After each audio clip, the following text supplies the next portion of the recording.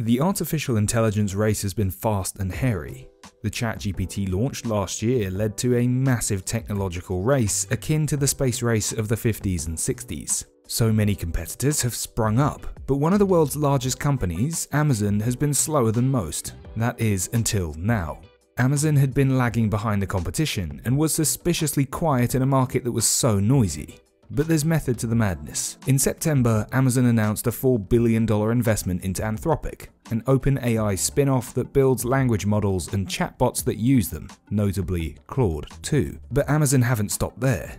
Amazon are well known for running one of the world's largest cloud servers in AWS, a business that does over $80 billion in revenue, and hence they have crazy amounts of data and information.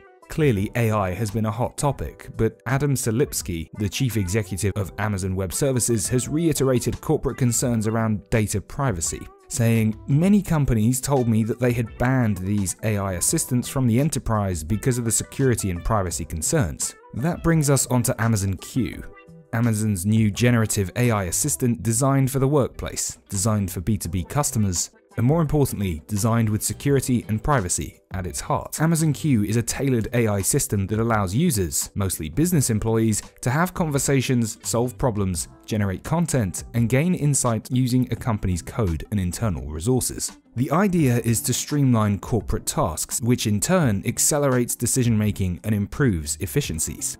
Another core feature of Q is that it is tailored to each business, whether that be in pricing, in responses, or in which interactions each employee can have. For example, the CEO needs access to confidential files that an analyst does not, and Q allows for that by following permissions of each business. However, because Q is built using data from AWS, it will never use customer content to train its models, helping with privacy concerns. Q aims to be the principal B2B chatbot, but will face stiff competition from Copilot, Duet AI, and ChatGPT Enterprise. So how does Amazon's Q work?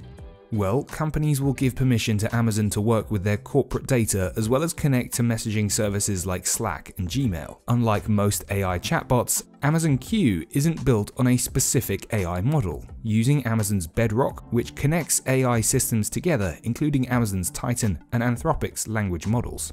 It's called Q for two reasons. Firstly, it's a play on the word question, but secondly, it's a hat tip to Q in James Bond, who makes helpful, stealthy tools to help the protagonist on his quests.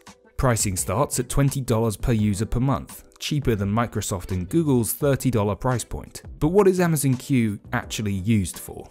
Amazon Q has been designed to help business users across finance, marketing, and all other functions within a business, whether it's creating summaries from large chunks of text, to transforming a press release to a blog post, or tweaking language to fit a company's brand.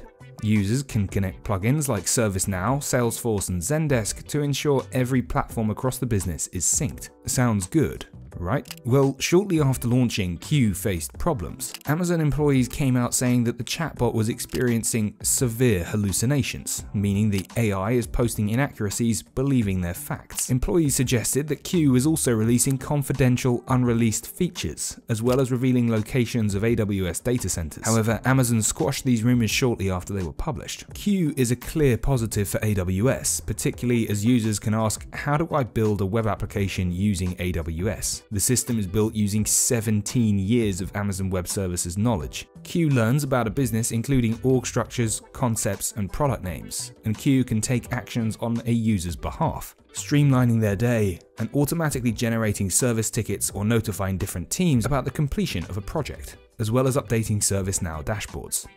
Will Q work? That's the question after all. That being, will Q actually compete against rivals, or is this just another chatbot? The key thing for Amazon and Q will be if businesses take Q on board, trusting Amazon with confidential data, and if they do, will they implement and use Q properly? Only time will tell. As far as Amazon are concerned, we think Q has the potential to become a work companion for millions and millions of people in their work life.